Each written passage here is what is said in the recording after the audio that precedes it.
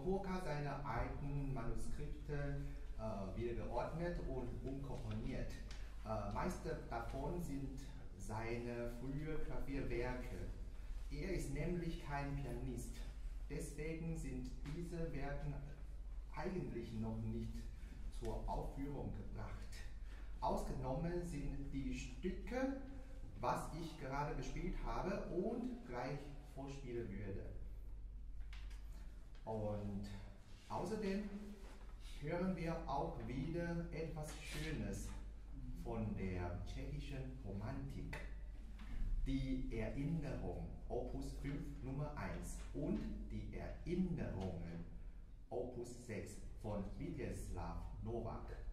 Novak war Kollege von Suk. Er war ganz ähnlich wie Suk. Er war auch Dvorak-Schüler und noch dazu, er wurde auch als Rektor des Prager Konservatoriums berufen. Heute muss leider der dritte Satz der Erinnerungen ausfallen, äh, weil ich leider nicht geschafft habe, rechtzeitig auswendig zu lernen. Deswegen spiele ich gleich im Anschluss den Isoldes Liebestod. Trotzdem möchte ich etwas ergänzen. Äh, es gibt eine Gemeinsamkeit zwischen Amoroso, was ich heute leider nicht, äh, nicht spiele, zwischen Amoroso und Liebeslied. Amoroso ist ein Stück in H-Dur. Liebestod beendet sich in H-Dur. Ich kann mich noch daran erinnern, als ich eine Vorlesung beim renommierten Musikkritiker, Herr äh, Dr. Wilhelm Simkowitsch, besucht habe. Damals habe ich äh, über zweite Ballade von Franz Liszt referiert. Diese Ballade handelt sich um die Geschichte über Hero und Leander. Das Stück ist auch in H-Moll komponiert, aber schließt in H-Dur ab. Herr Dr. Sinkowitsch hat darauf hingewiesen, dass diese Tonart H-Dur eigentlich als Liebeserklärung bei der deutschen Romantik funktioniert haben soll. Angesichts der Einflüsse der deutschen Romantiker auf tschechischen Romantik kann ich nicht als Zufall betrachten, warum Novak sein Amoroso, der letzte Satz von den Erinnerungen, in H-Dur komponiert hat. Jetzt erleben wir gemeinsam das letzte dritte heutigen Programms.